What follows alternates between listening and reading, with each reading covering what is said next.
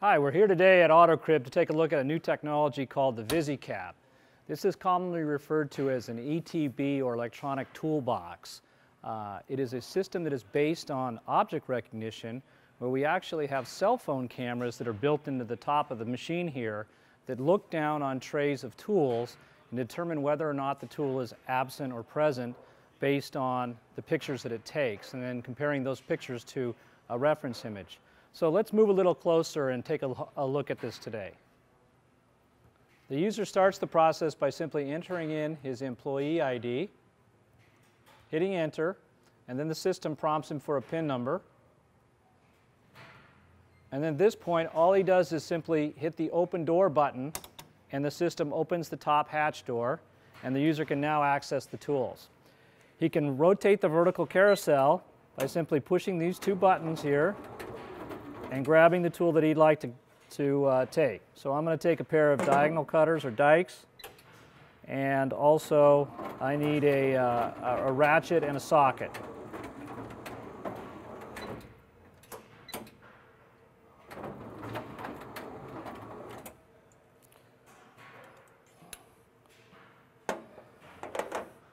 When he's done, all he does is shut the door, hit the log out button, and the system will now verify which tools have been taken, if any. This process takes about one minute to completely inventory the, the cabinet, and that can be up to 600 tools in one minute. As you can see, the items that are highlighted in red are missing from the cabinet, and we have taken a ratchet, a deep socket, three quarter inch, and a pair of diagonal pliers or dikes. So the items that are missing now are clearly identified on the screen, so if someone else comes up to the cabinet, they can identify who has the tools and where they're using them. Also, the machine shows a, a yellow dot instead of a green dot, indicating that the cabinet is not complete. If I want to return the tools at this point, I just go through the process in reverse. I log in, type in my user ID, type in my PIN number, and hit open door, and now I return the tools just as I take, took them.